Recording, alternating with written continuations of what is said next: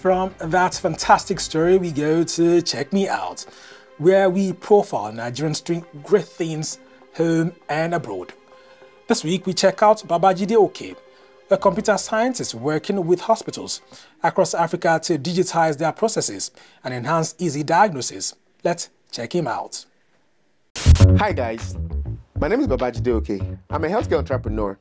Check me out. To Kennesaw State University. I started studying biology. And then going on my final year, I switched my major from biology to computer science. So I ended up graduating with a bachelor's in computer science and a minor in biology.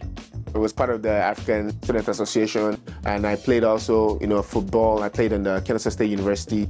Initially, I know that I wanted to be a medical doctor, and I know that I still wanted to be in healthcare.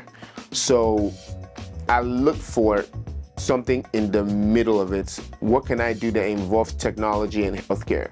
And what I did is actually ended up working in the biotech industry. When I work in the biotech industry, you get to work on different diseases. So I worked uh, briefly on the Ebola vaccine. I worked on different cancers from uh, AML, acute myeloma, to breast cancer, to some pediatric studies.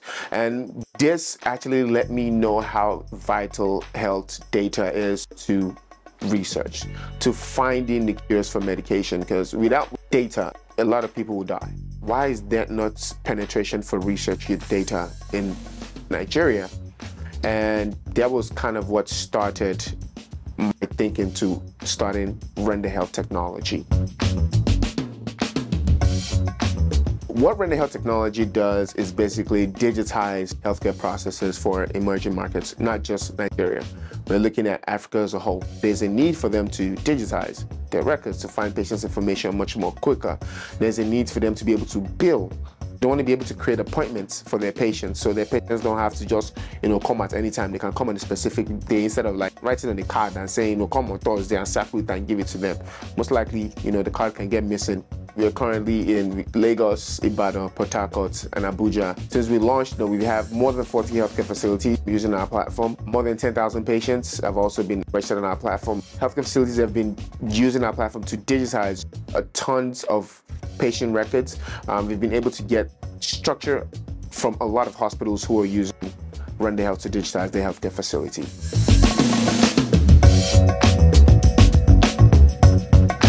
Hello again, my name is Babajide Oke. I'm a healthcare entrepreneur and you just check me out. Beautiful effort there, Babajide. And now to a quick reminder of our top story. We told you about the sharp practices in Nigeria's real estate sector. And this is where we draw the curtains on today's episode of the program. Many thanks for joining us.